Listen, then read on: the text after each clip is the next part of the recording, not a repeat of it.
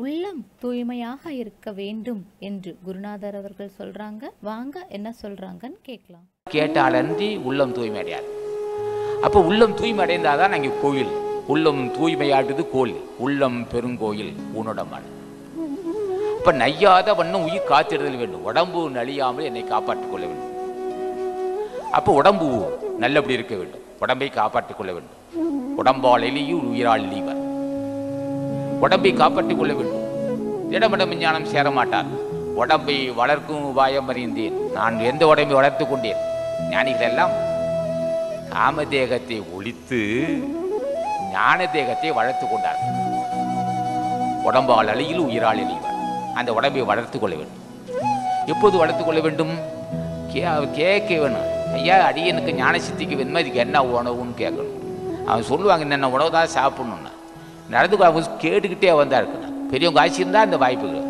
பெரியவர்களுடைய நாமத்தை சொல்ல சொல்ல உள்ளம் தூய்மையாகும். இப்போ திருமலை தேவா அகத்தீசான்னு சொல்கிறேன் எதுக்காக சொன்னாங்க? உள்ளம் தூய்மை அடையணும் அது மட்டுமா உண்டாகும்? சிறப்பறி வரும் இல்லவா? சிறப்பறி வரும் செல்வம் பெருகும். உடம்பை பற்றி உடம்பு நீடி ஆயுள் நல்ல திடம் இருக்கும். உடல் ஆரோக்கியம் இருக்கும். நீடி ஆயுள் கிடைக்கும். செல்வம் பெருகும். நோய்வாய்ப்படாதிருக்கலாம். நையாத வண்ணம் உயிர் காத்திடுதல் வேண்டும். அது மட்டுமா கேட்டார்.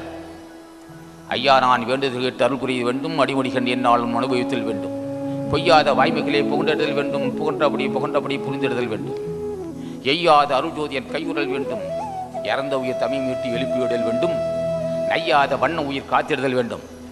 நாயகன் என்று பிரியாது உறுதல் வேண்டும். அங்கே முதல் பாடல் வந்து உணர் சேர்ந்து இருக்குன்னு சொன்னார். இங்கே பிரியாமல் இருக்குன்னு சொன்னார்.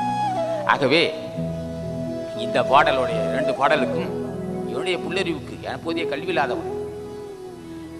என்னுடைய கருத்து இது சில சொல்லியிருக்கலாம். நீங்களாம் கற்று வந்த பெரியோர்கள் கற்று வந்த பெரியோர்கள் இதெல்லாம் நீ இருக்கீங்க கற்றோருக்கு இருக்கு நான் இது சுருக்கமாக சொல்கிறேன் இன்னொருத்த படித்து தான் கேட்டுட்ருக்கேன் அதுக்காக அதனால சில தவறு இருக்கலாம். அது பெரியவங்களுக்கு மன்னித்துக்கலாம் ஆக சொல்லப்பட்ட கருத்துக்களில் இதே ஞானிகளை ராமலிங்க சாமியை நினைத்து பேசியிருக்கிறேன். ஏதோ குறைய இருக்கலாம்.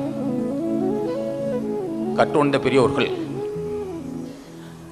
நான் பேசுவதில் சில தவறு இருந்தாலும் பொறுத்து கொள்ள வேண்டும் என்று உங்கள் திருவடியை சிரம் தாழ்ந்தி வணங்கி முடிக்கிறேன் வணக்கம்.